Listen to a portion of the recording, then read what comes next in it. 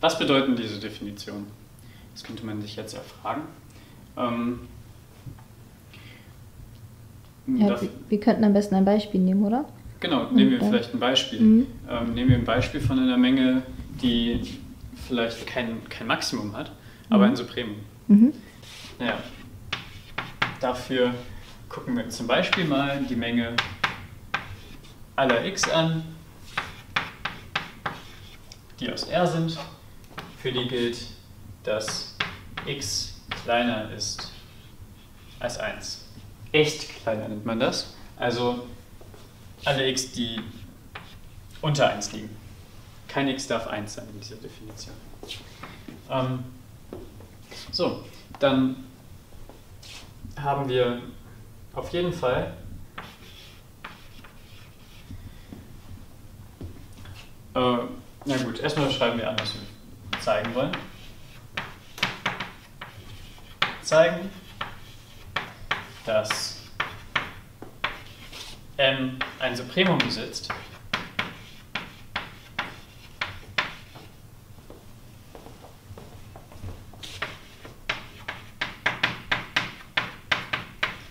aber kein Maximum.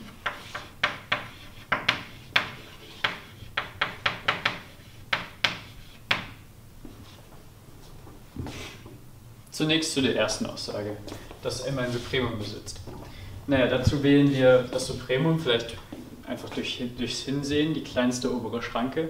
Das, die kleinste Zahl, für die gilt, dass x auf jeden Fall kleiner ist, also für alle, dass alle x aus m kleiner sind als diese Zahl, ähm, die ist gerade, äh, wir sehen oder wir behaupten, äh, dass das Supremum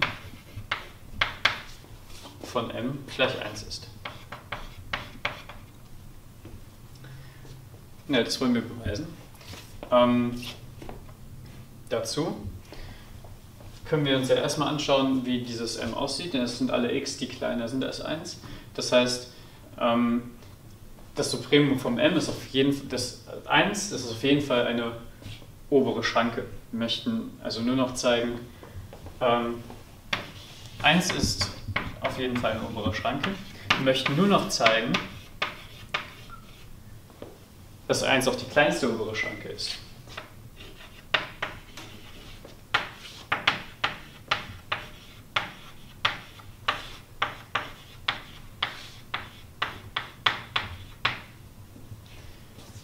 Warum ist es die kleinste obere Schranke? Naja, schauen wir uns an, und das ist jetzt eine Beweisidee, die man beweist per Widerspruch. Wir könnten uns ja anschauen, okay, wir nehmen eine Schranke, die, eine obere Schranke, die kleiner ist als 1 und wollen das zu einem Widerspruch führen. Bedeutet, ähm, wenn wir das gezeigt haben, dass m auf jeden Fall keine kleinere Schranke besitzen kann, denn wir haben ja eine kleinere Schranke gewählt, vermeintlich kleinere obere Schranke. Ähm, aber diese kleine obere Schranke führt zu einem Widerspruch. Das heißt, sie ist keine kleine, kleinere obere Schranke als unser 1. Und das bedeutet, unser 1 ist ein Supremum, ist nämlich die kleinste. Wähle. Ähm, okay. Wir nehmen an,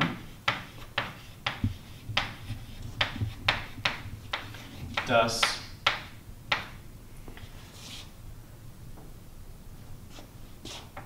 y kleiner als 1 eine weitere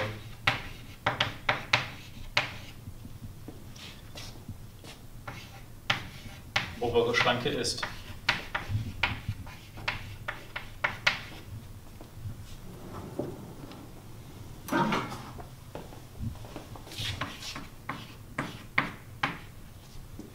Naja, was haben wir denn? y kleiner 1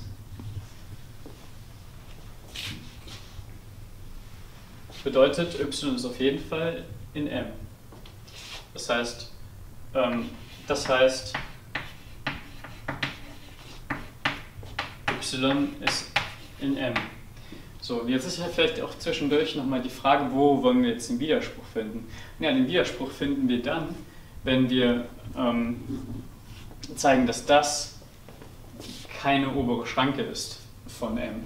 Und ähm, hier ist in der hm, Beweisführung vielleicht ein kleiner, hm, eine kleine Unannehmlichkeit in der Reihenfolge. Aber es ist kein Problem, das kriegen wir auch hin. Da wir in, Mathe, in der Mathematik, da darf man auch sicher manchmal ein bisschen improvisieren. Und ähm, wir haben ein y-Element m. Und ähm, wir wollen jetzt zeigen, dass das hier keine obere Schranke ist. Ähm, also, dann ist y', und was machen wir jetzt? Wir nennen, wir nennen y', das zwischen y und 1 äh, liegt. Ähm, das finden wir, weil die reellen Zahlen überabzählbar sind. Ähm, das könnt ihr euch vielleicht in anderen Videos oder Definitionen angucken. Dann ist y' mit y' gleich, okay, was nehmen wir? Wir nehmen vielleicht den halben Abstand zwischen 1 und y. 1 minus y halbe. Ähm, und das ist gerade, genau, wir müssen also 1 minus, 1 minus y halbe wählen. Das heißt 1 minus dem halben Abstand von y zu 1, wo wir dann genau eben zwischen 1 und y liegen. Also wir nehmen sozusagen hier das y an, hier ist die 1 und wir wählen hier ein y'. Ja, das können wir umformen zu dem Bruch hier auflösen, also 1 minus 1,5, das ist 1,5 und dann 1 minus, also minus minus y halbe plus y halbe. Und dieses y', das ist jetzt, äh, naja, größer auf jeden Fall als y. Also so haben wir das definiert und das können wir auch hier zeigen. Das ist auf jeden Fall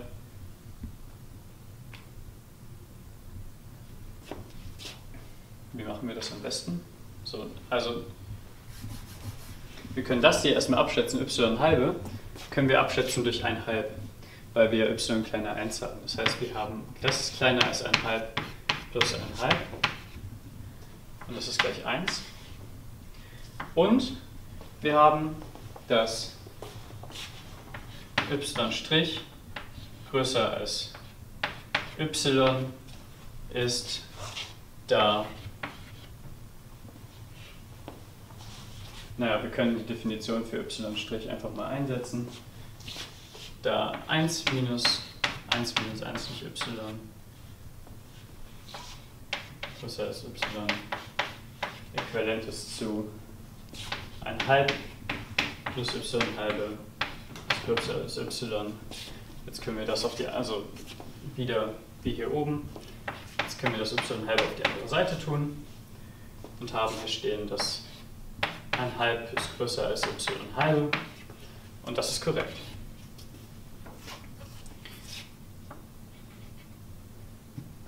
So, bedeutet, wir finden jetzt ein y', das größer ist als y. Ähm, das heißt,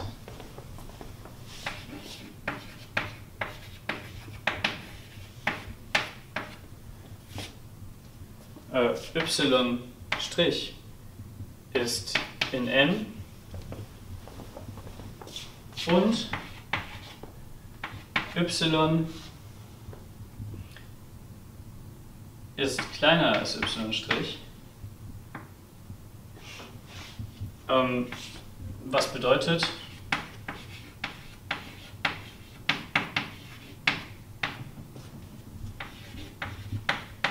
dass y keine obere Schranke sein kann.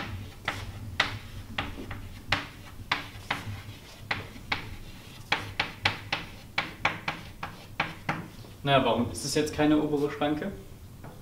Wir haben eine obere Schranke definiert als es muss größer sein als alle x für x in m.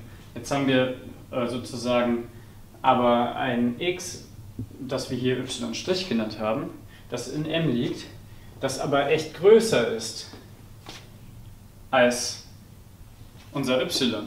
Das heißt, diese Gleichung hier ist nicht erfüllt. Das bedeutet, dass dieses y keine obere Schranke ist. Ähm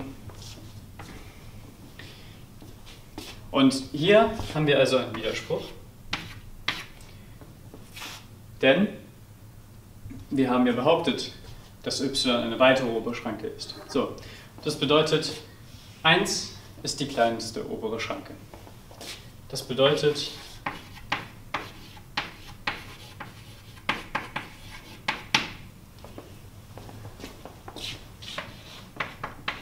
Eins ist die kleinste.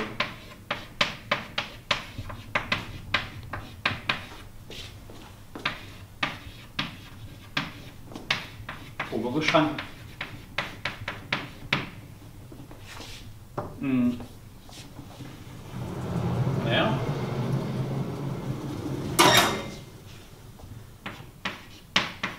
Also auch das Supremum von m.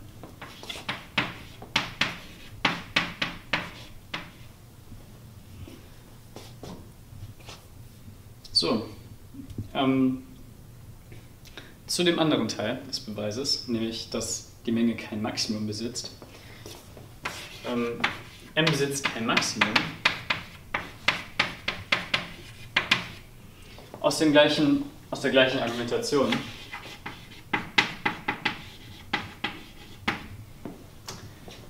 Ähm, da wir für jedes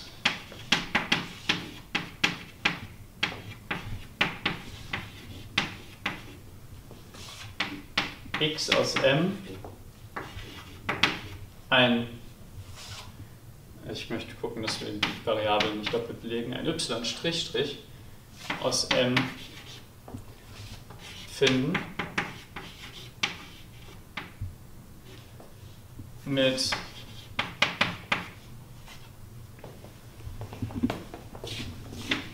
y' ist gleich 1 minus und das, was wir gerade eben getan haben, nämlich 1 minus x halbe, sodass y' größer als x ist und auch zu diesem y', auch das könnten wir jetzt wieder rekursiv hier einsetzen. Und wir würden immer noch ein y vielleicht Strich, Strich, Strich finden, das immer noch größer ist als y', und immer noch in dieser Menge liegt. Das heißt, in n liegt. Das heißt, wir finden zu jedem Element der Menge ein Element in der Menge, das auf jeden Fall größer ist. Das bedeutet,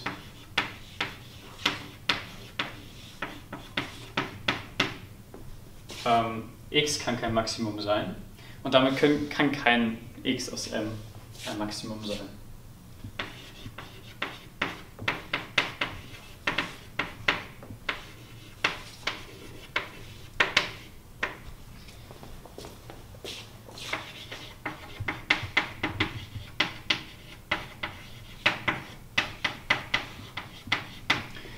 Also besitzt m kein Maximum. Wenn kein x aus m ein Maximum sein kann.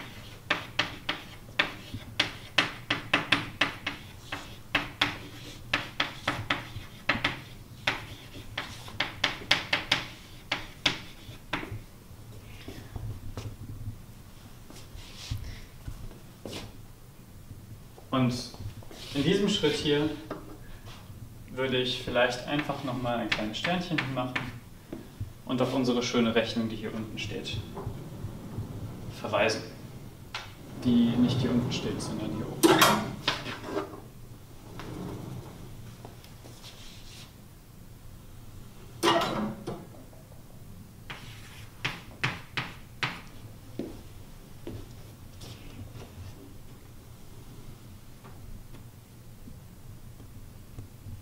Und damit sind wir fertig.